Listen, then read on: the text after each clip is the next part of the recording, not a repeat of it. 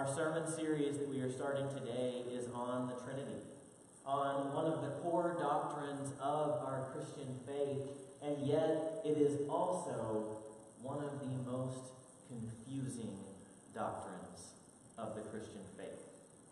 We believe that God is one, but we also believe that that one God is seen in three persons Creator, Savior, Perfecter, Father, Son, and Holy Spirit. But how can three persons be one God? And how can one God be understood as three distinct persons? Can you see how this might get confusing? Especially if you were trying to explain this to someone who hadn't grown up in the church, who hadn't been praying to the Father, Son, and Holy Spirit for a while, it might be something that trips them up. In fact, this doctrine of the Trinity is one of the few reasons that our brothers and sisters in the Jewish faith really struggle with what we say we believe. For the greatest commandment, the Shema, found in Deuteronomy chapter 6, verse 4, starts by saying, Hear, O Israel, the Lord your God is God. The Lord is one. How can God be three if God is one? Can you see where the confusion might set in? Can you see where the misunderstanding might bring or might come out in this? How can God be the creator, the one whom we just heard in the creation poem, but also be the Savior, incarnate in Jesus Christ, and also be the Spirit, the one that hovers over the waters of creation, the one that fills the dead bodies in Ezekiel 37, the one that falls upon the disciples in Acts chapter 2.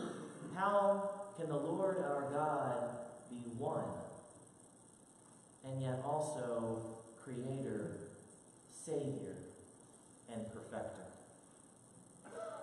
Honestly, I don't know how to completely explain this. Because I think this is one of those things that is not fully comprehensible. Luckily, though, we do get some hints throughout Scripture that might help us understand this a little bit better than we do now. And one of them comes from the very beginning of the beginning. As we hear in the creation narrative from Genesis 1, that as God speaks, things happen. I love that, and I love the message translation that we, we heard earlier that says, God spoke and said, Light, and light was. God said, Sky, and the waters separated. God said, Swarm, and the fish filled the sea. The birds filled the air. God commands, and things happen. But then there's one part in this creation poem that's not a command of God's. Instead, God speaks, and God isn't giving a command, but He's talking to God. In verse 26 of chapter 1, God says, Let us create humanity in our own image. Now I'm going to say that again, and I'm going to emphasize the same words that the video that we saw emphasized. Let us create humanity in our own image. God, who up until this point in the poem has been referred to in the singular, speaks to God's self in the plural. In the first person plural of us. So already, before Jesus Christ was ever walking on earth, already before we had any language about the advocate, about the Holy Spirit, before the tongues of fire descended upon the disciples, we already had a God that was a little bit more complex than we might realize. For this singular God spoke of God's self in the plural. What gives us another hint is a Hebrew word for God that shows up about 90% of the times that if you look in your Old Testament, you see the word God. And that word in Hebrew is the word Elohim. It literally translates not to God, but to God's, with an S at the end. This word that is so commonly used when we read the word God in our scripture is plural. In fact, this word is found in the Shema, in that greatest commandment. Hear, O Israel, the Lord your God's is God. The Lord is one.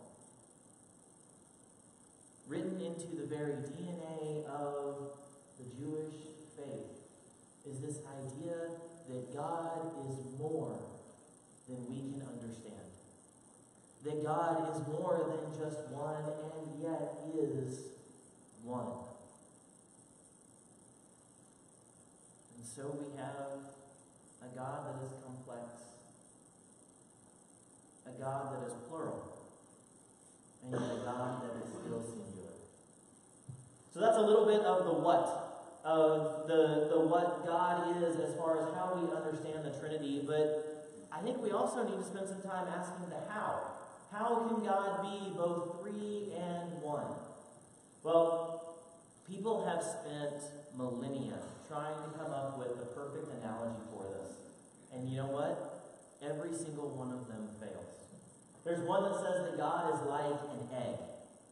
You know, there are three basic parts to an egg there's the shell, there's the yolk, and then there's the egg white.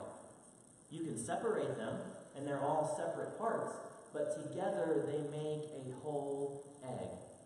The problem with this is that God, the Father, God, the Son, God, the Spirit, are not different entities.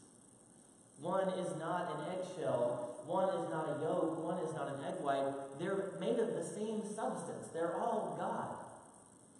And so that analogy, while it sounds pretty good and honestly makes me want to go get some brunch, doesn't always hold up as well as it could.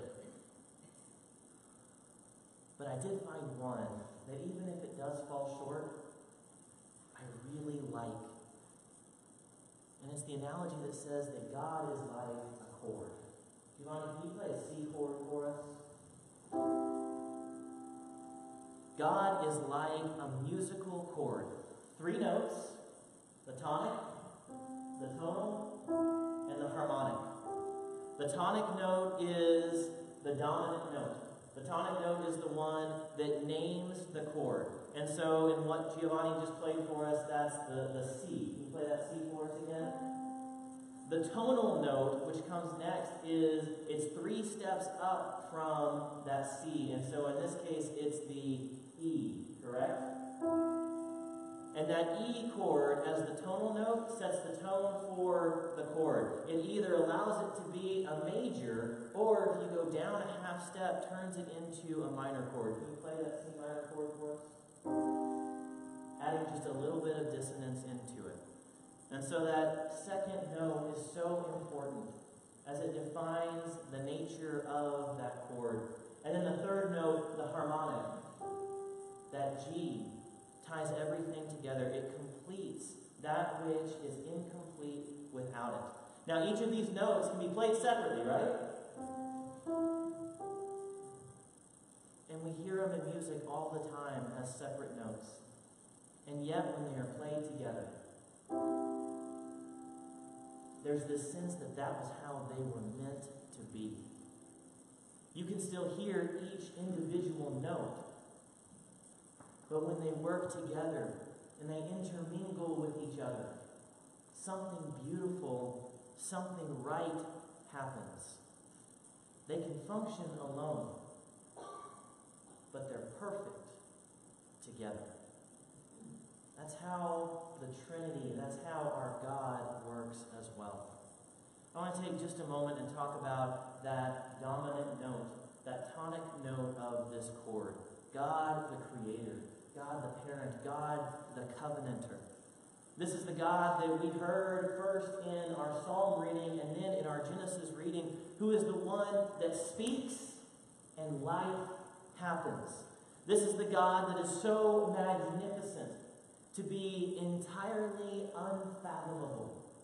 The God whose hymn of God's robe is so full and so big as to fill the entirety of the temple. The God who brings Isaiah to his knees. The God that is so glorious that Moses cannot see him face to face, but instead must wait until God passes and catch a glimpse of God as God is moving away. This is the God that knows us, that surrounds us, that knit us together in our mother's womb. This is the God that loves us. This is the God that made us in God's own image. Which means, brothers and sisters, that the capacity of this God to create, to do and name things as good, to work in harmony with the Trinity,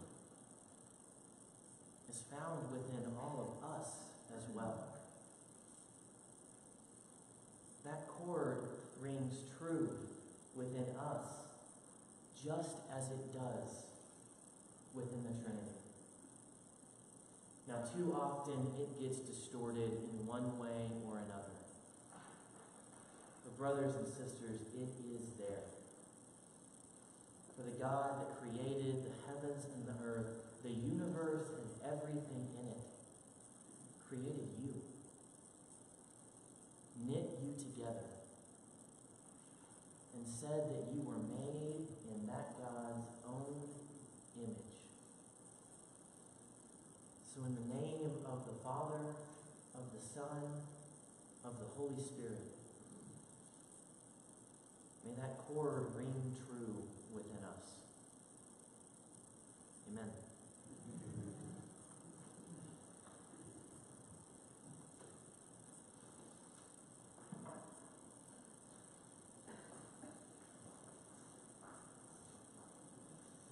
Now, if you would please join me in the call to confession and pardon that is found on page 12 of your hymnals.